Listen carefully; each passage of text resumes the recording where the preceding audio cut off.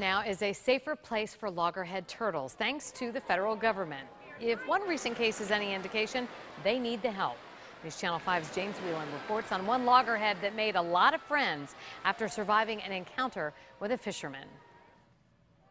TNT was rescued a few months ago after he was accidentally hooked at the Lake Worth Pier. The turtle had a, a fishing hook lodged down between its esophagus and stomach very, very deep.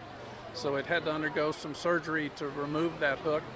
Uh, it took about two and a half months for the surgery to heal. The doctor said he's good to go now, so plenty of friends came out to send him off. We usually get a good turnout for our sea turtle releases, but this one was huge. Um, we're so excited that this many people were here today to say goodbye to TNT, wish them the best of luck.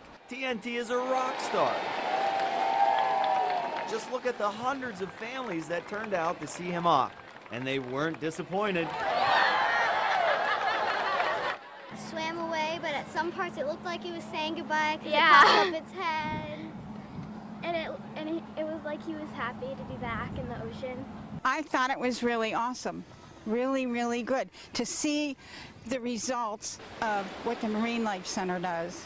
That's what is amazing that they do all this rescue. NOAA just announced that the coast of Florida is a marine critical habitat for loggerhead turtles. That's going to give more protection and a better chance of survival for turtles like TNT and this future generation here. From Juno Beach, James Wieland, WPTV, News Channel 5.